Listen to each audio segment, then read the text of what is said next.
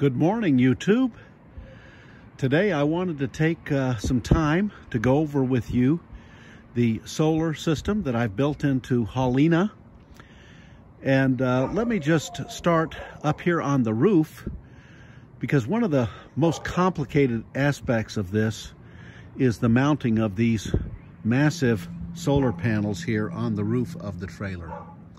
So I just wanted to take a moment here to uh, show you all that was involved with doing this. And then there'll be some still photos later showing you the process, but I wanted to show you the finished product first. Some of the things that I, I wanted to talk about was uh, this uh, Dicor products and the self-leveling and also the butyl tape. If you'll see that here, there's the butyl tape and uh, the self-leveling. I've used it also on this uh, on this installation. But let's look closely at how this unistrut is fastened here. Hopefully you can get a good look at how I've used the butyl tape uh, ex extensively. Under each piece of unistrut, there's two uh, there's two strips of the butyl because this is uh, about three quarters of an inch and I wanted to have a good base on there and you can see how over time these have been on not quite a year now, but you can see how uh, they're doing a good job sealing between the unistrut and the trailer roof. And then I took the self-leveling Dicor product and, and any penetration that actually came up through the roof, and these are carriage bolts that come up from the bottom side, and you'll also see some pictures of where I was measuring that out early on in the process, but the carriage bolts come up through the unistrut and then it's bolted. And that way the carriage bolt uh, uh, is on the bottom side, which gives a nice finish so that I can work with my ceiling down below. Here you see the penetration for the solar uh, wiring. And also, I went ahead and put a, a weather resistant box up here so that at later times I could come up through the roof and I wouldn't have to penetrate the roof a second time. So this is kind of handy to have this for future use. And in fact, when I went to install the cameras, I did use this uh, penetration through the roof and also used it for the uh, supplementary lighting that I installed on uh, the front and the corners and all that. So uh, I think it was a good idea to have something this like this for future use. Uh, one of the things too, just a quick note, if you look closely, this is how tight this application on the solar panels it was that I had to do a little bit of a clipping here on the uh, on the vent but it did fit but it's tight and you can see all of these clips that are installed and in addition to the clips, because I'm supposed, I guess part of it is riding a motorcycle all these years, but I sure did not want to lose these panels. So my secondary method uh, of installing and putting, fastening these uh, panels in place was also a stainless steel strap here.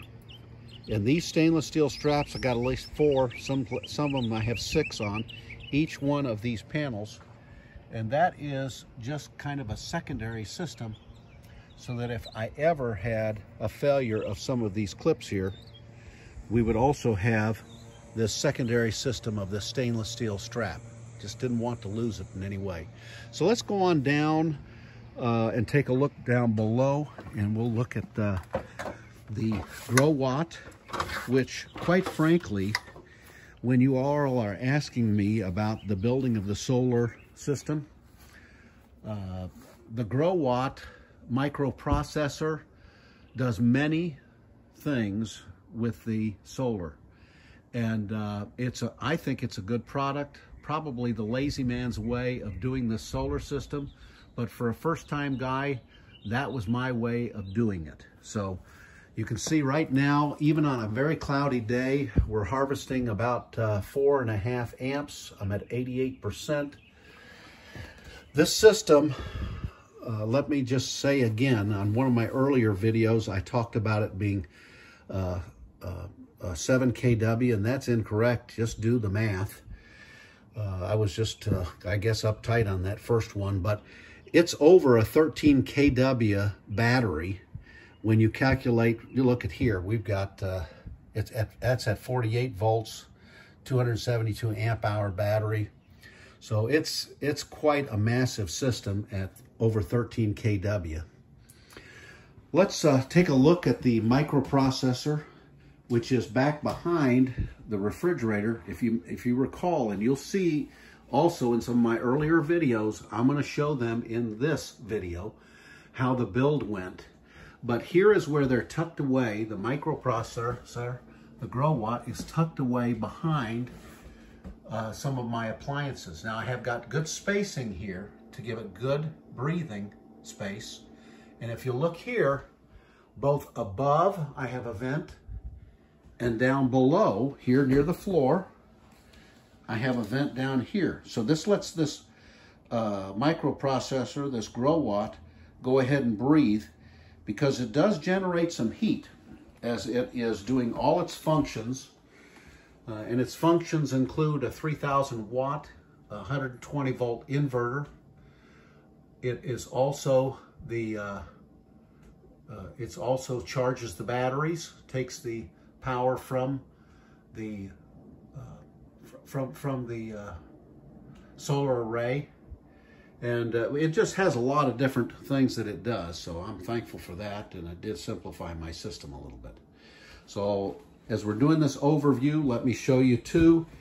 Uh, we've got a really, I think it worked out pretty nice, the way the cover worked out over the battery, because the battery is massive.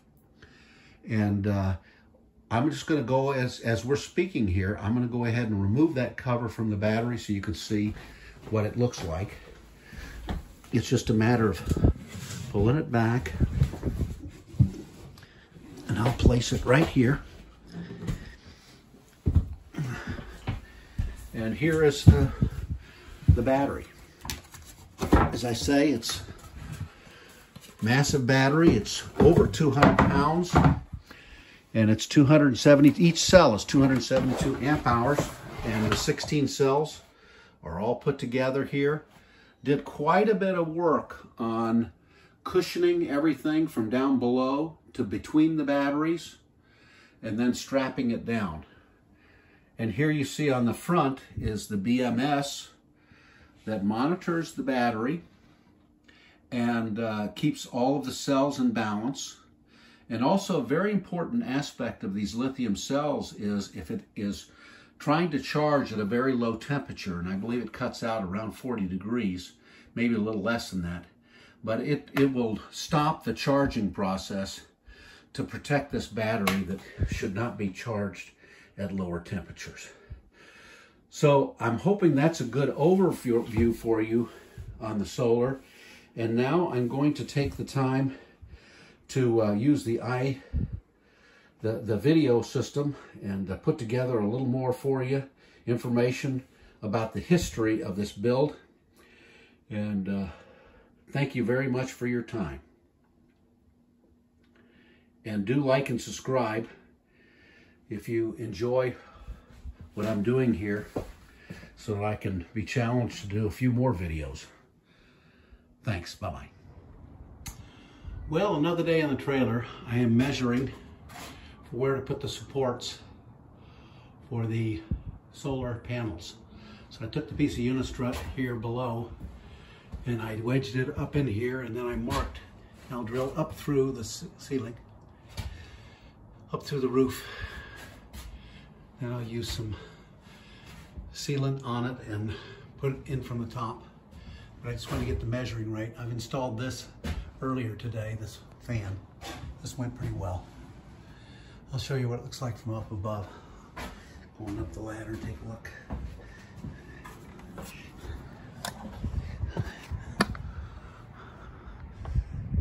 That's it.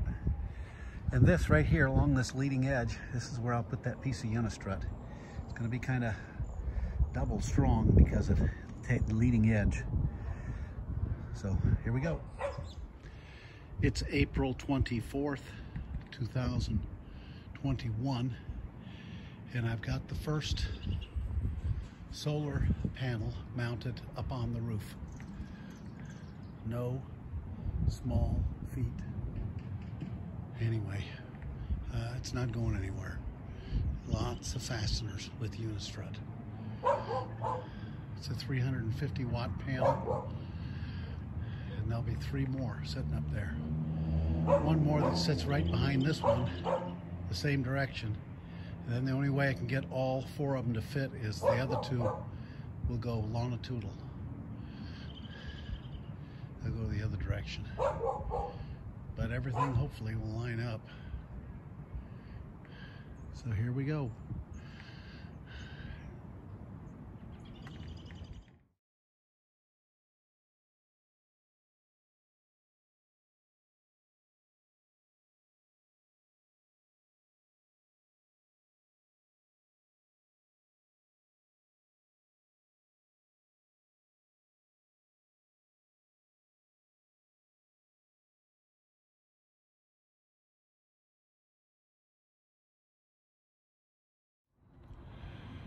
This is where I built the battery stand for the 48 volt battery, the 16 cells.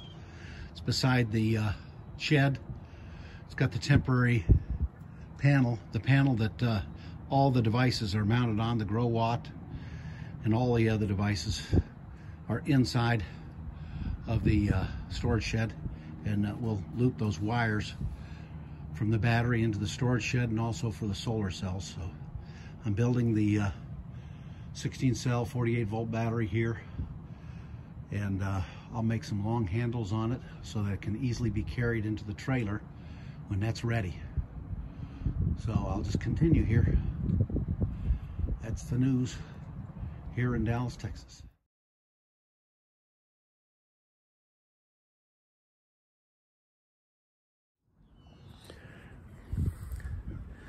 Hello family.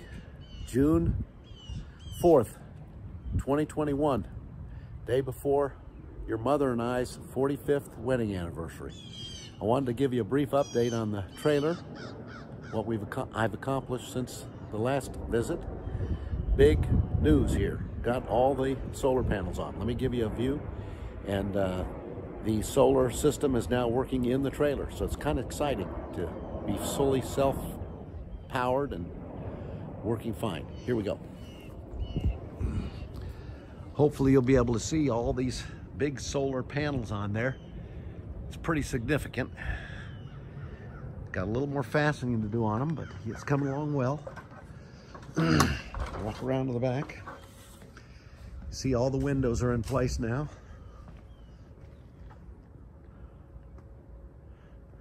Here's the front of the unit. Here's a good side view.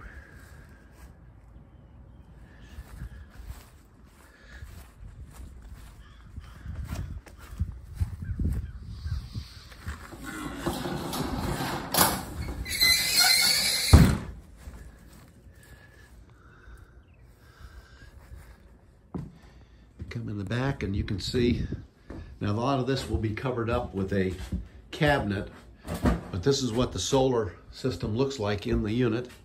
Now if you see this panel right here, the panel will be on a cross wall.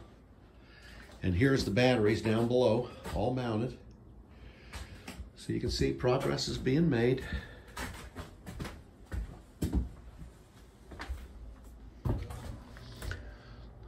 One day at a time insulation done on, on the ceiling, the first stage anyway. I don't want to make this video too long, but I wanted to give you an update.